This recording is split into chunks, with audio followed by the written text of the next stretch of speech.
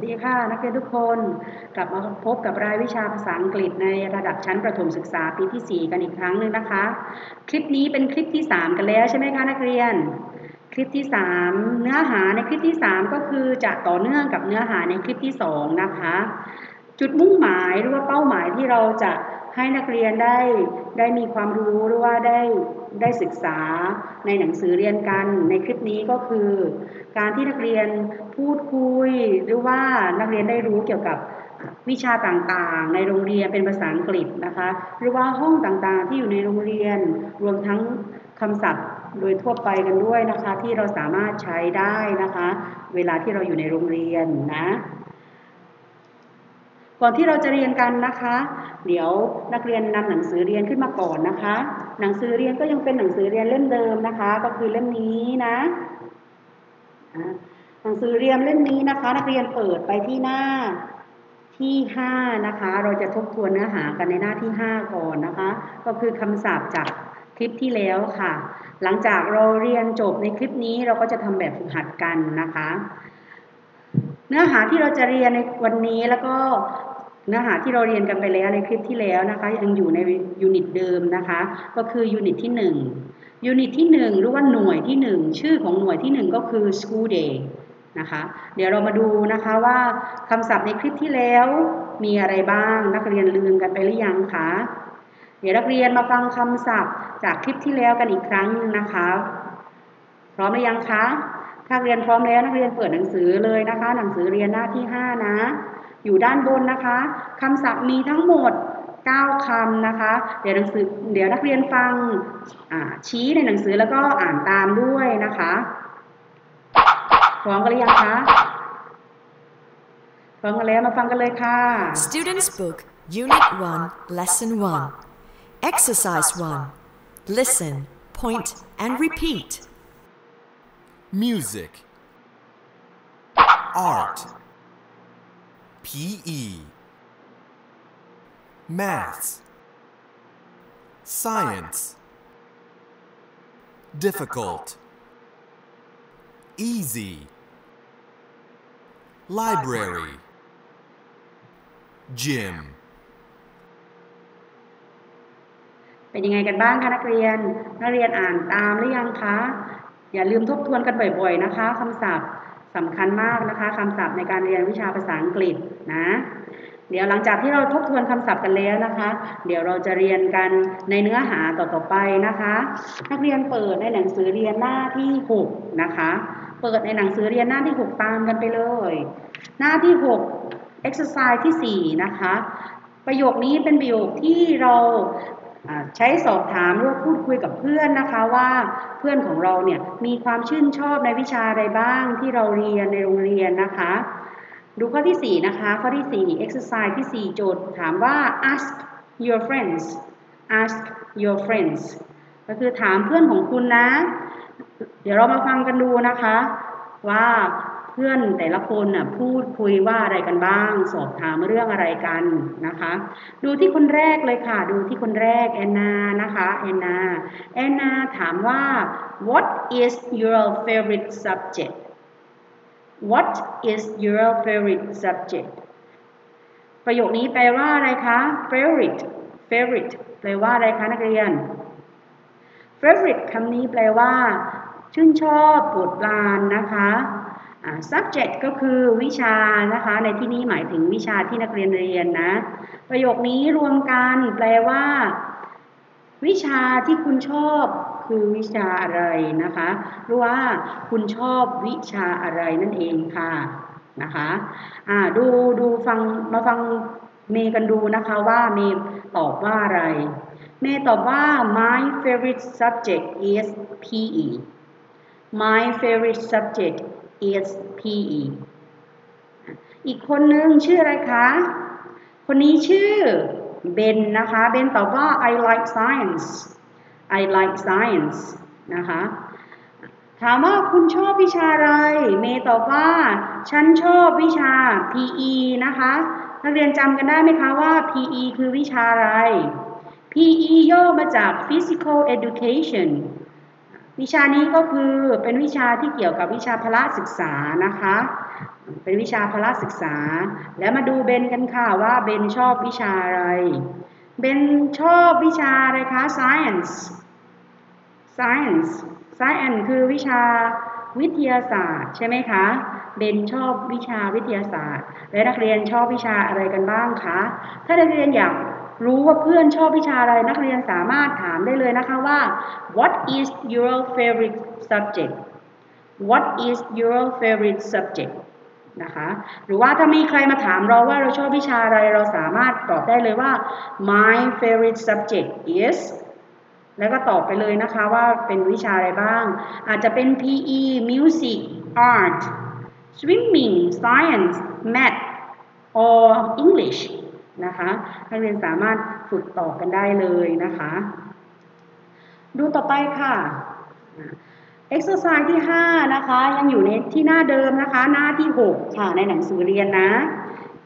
exercise ที่ 5 นะคะ exercise นี้โจทย์เขียนมาว่า read ask and answer read ask and answer นะคะให้อ่านแล้วก็ตอบคำถามนะคะ และให้อ่านแล้วก็ตอบคำถาม นักเรียนดูใน timetable กันก่อนนะคะ timetable ก็คือตารางเรียนนะคะ ตารางเรียนที่นักเรียนเห็นในคลิปนะคะ และและที่นักเรียนเห็นในหนังสือเรียนก็จะมีตัวอย่างมาให้แค่กี่วันคะ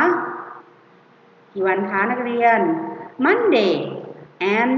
Tuesday นะคะ มีตัวอย่างมาให้แค่ 2 วันนะคะ ก็คือ Monday คือวันอะไรคะ Monday Monday คือวันจันทร์ใช่ไหมคะอีกวันก็คือ Tuesday ก็ถัดมาก็เป็นวันอังคารนะคะ นักเรียนดูในตารางเรียนของเขานะคะ ที่เขาให้ตัวอย่างมาเนี่ยมีอยู่ไม่กี่วิชานะคะ ในวันจันทร์คาบตอน9โมงครึ่งมีวิชาอะไรคะ science ใช่ไหมคะ science คือวิชาวิทยาศาสตร์นะคะ science เขาเรียนอยู่ที่ไหนคะเขาเรียนที่ไหน science in the science lab in the science lab นะคะก็คือห้องทดลองทางวิทยาศาสตร์นะคะเป็นห้องทดลองทางวิทยาศาสตร์ ต่อไปวันจันทร์10โมงครึ่งเขาพักเบรกนะคะเขาพักเบรกนะเขาพักเบรกอยู่ประมาณครึ่งชั่วโมงนะคะครึ่งชั่วโมง หลังจากพักเบรกครึ่งชั่วโมงเขาเรียนอะไรต่อคะนักเรียน math math นะคะ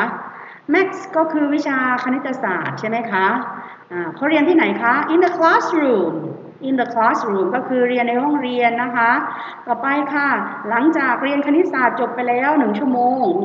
อ่าตอน 12 นาฬิกานะคะ 12 o'clock เขาทำอะไรคะ they have lunch นะคะ ก็รับประทานอาหารเที่ยงกันนะคะ หลังจากนั้นบ่ายโมง 30 นาทีก็เริ่มเรียนวิชาอะไรคะ music in the music room นะคะเขาเรียนวิชาดนตรีใช่ไหมคะ ที่ห้องดนตรี ห้องดนตรีก็คือ music room นะคะ หลังจากนั้นอีกถัดมาอีกหนึ่งชั่วโมงก็คือ art เรียนศิลปะนะคะ at the art room นะคะ เรียนที่ห้องศิลปะเลย เรียนอยู่2ชั่วโมงนะคะ เรียน2ชั่วโมงติดกันเลยนะคะ ต่อมาวันอังคารค่ะ วันอังคารนะคะ วันอังคารภาษาอังกฤษก็คือ Tuesday Tuesday นะคะ วันอังคารคาบแรกก่อน9โมงครึ่งเขาเรียนวิชาอะไรคะ Maths they have math in the classroom นะคะพวกเขาเรียนคณิตศาสตร์ในห้องเรียนนะคะ หลังจากเรียนผ่านไปหนึ่งชั่วโมงเขาพักเบรกนะคะ ก็คือพักเบรกก่อนแล้วหลังจากนั้น 11 โมง ก็มาเรียนวิชาอะไรคะ English English ก็คือวิชาภาษาอังกฤษนะคะ เรียนที่ไหนคะ library library ก็คือห้องสมุดนั่นเอง หลังจากที่เรียนภาษาอังกฤษเสร็จแล้วนะคะหนึ่งชั่วโมง เที่ยงตรงนะคะ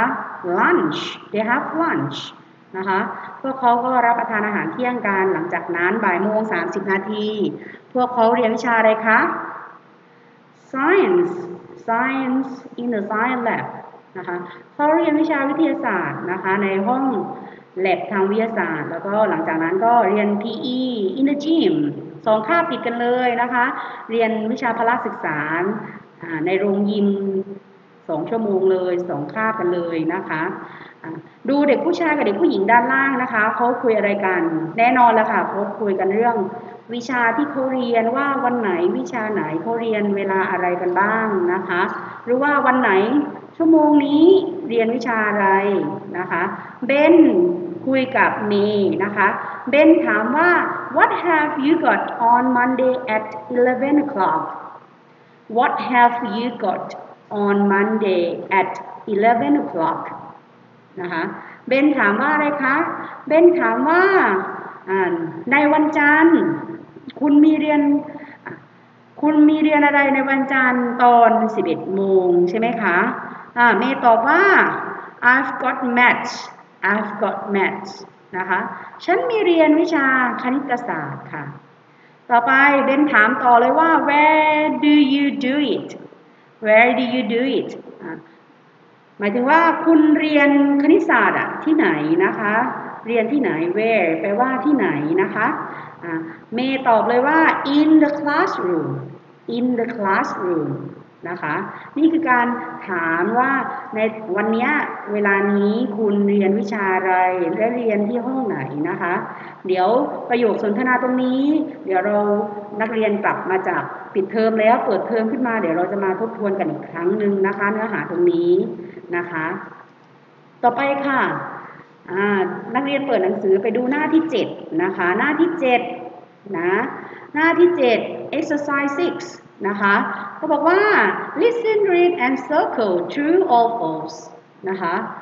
listen read and circle true or false นะคะ true or false มีอะไรบ้าง true โจทย์เขาบอกว่าให้ฟังแล้วก็อ่านนะคะ แล้วก็วงกลม true or false นะคะ ก็คือให้วงกลมค่ะไป ถ้าประโยคไหนถูกต้องให้วงกลมคำว่า true ถ้าประโยคไหน อ่านแล้วไม่ถูกต้องไม่ตรงกับเนื้อหาก็ให้วงกลมคำว่า false นะคะ ทีนี้เรามาฟังกันนะคะ ว่าในคลิปวิดีโอเขาจะพูดว่าอะไร แล้วเรามาตอบกันนะคะ วงกลมคำที่ใช่กับด้วยไม่ใช่ในแต่ละข้อทั้งสี่ข้อให้เรียบร้อยนะคะ Students Book Unit 1 Lesson 1 Exercise 6 Listen, read and circle true or false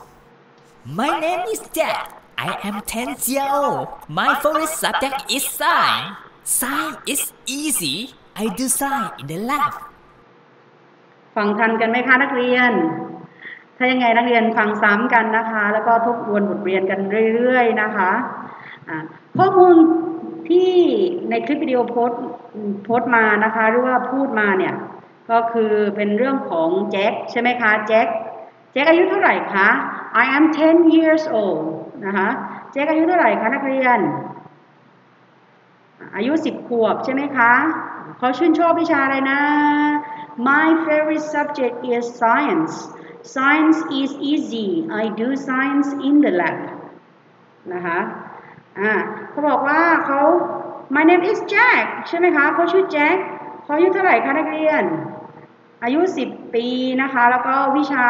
ที่เขาชอบก็คือวิทยาศาสตร์ วิทยาศาสตร์เนี่ยง่ายสำหรับเขามาก ๆ เลย Science is easy นะคะเขาบอกว่าเขาเรียนวิทยาที่วิทยาศาสตร์เนี่ยในห้องแลบนะคะ ทีนี้หลังจากที่นักเรียนได้ฟังคลิปวิดีโอไปแล้วนะคะ นักเรียนมาตอบคำถามเลยค่ะ ข้อที่1นถึงสนักเรียนลองอ่านดูนะคะ ว่าประโยคที่เขาประโยคบอกเล่าที่เขียนมาถูกต้องไหมตรงกับข้อมูลของแจ็คไหมแล้ววงกลม ถ้าตรงก็วงกลมที่คำว่า true ถ้าไม่ตรงก็วงกลมที่คำว่า false นะคะนักเรียนเสร็จกันหรือยังคะทำเสร็จกันหรือยังวงกลมหรือยังคะเดี๋ยวเรามาดูกันนะคะว่าเรียนทำถูกไหม ถูกไหมคะอ่าหลังจากนั้นนะคะเราเรียนจบกันไปแล้วนะคะในเรื่องใน lesson 1ใน lesson 1หลังจากนี้เราก็จะทำแบบฝึกหัดกันต่อนะคะ นักเรียนเปิดหนังสือแบบฝึกหัดได้เลยแบบฝึกหัดคือเล่มนี้นะคะอ่าเล่มนี้เลย เปิดหนังสือแบบฝึกหัดไปที่หน้าที่หกนะคะ ไปที่หน้าที่หกนะหน้าที่หกแบบฝึกหัดทำข้อที่หกนะคะ ข้อที่หกหน้านี้เลยนักเรียนดูให้ดีนะคะ แบบฝึกหัดข้อที่หกนะคะ ข้อที่หกตรงนี้นะคะทำตรงนี้เลยดูในตารางเรียนนะคะ แล้วก็ตอบคำถามด้านล่างตรงนี้นะคะนะแล้วก็ เมื่อเสร็จก็เปิดไปที่หน้าที่เจ็ดนะคะทำสองข้อนะคะที่หน้าที่เจ็ดข้อที่เจ็ดค่ะ โจทย์ให้ โจทย์ให้คำศัพท์มาแล้วนะคะ ให้คำศัพท์มาแล้วนักเรียนนำมาเติมให้ถูกต้องนะคะ แล้วก็ข้อที่แปดให้เรียงคำให้เรียงประโยคใหม่นะคะ ให้เรียงประโยคใหม่ให้ถูกต้องค่ะ ให้เรียงคำใหม่นะคะ นักเรียนทำแบบฝึกหัดด้วยดินสอนะคะ เขียนด้วยความเรียบร้อยนะคะ ลายมือสวยงามเรียบร้อยค่ะ หลังจากทำในแบบฝึกหัดเสร็จแล้วนะคะ นักเรียนสามารถส่งการบ้านหรือว่ารูปภาพในขณะที่นักเรียนทำการบ้านหรือว่าเรียนอยู่เนี่ยมาให้ครูปุ๊ได้ในไลน์ส่วนตัวนะคะ แล้วก็หากนักเรียนสงสัยเกี่ยวกับวิชาของปุ๊เนี่ยนักเรียนสามารถสอบถามได้ในไลน์ส่วนตัวนะคะสำหรับคลิปนี้ครูก็ขอลาไปก่อนค่ะ แล้วเจอกันใหม่คลิปหน้านะคะ สวัสดีค่ะ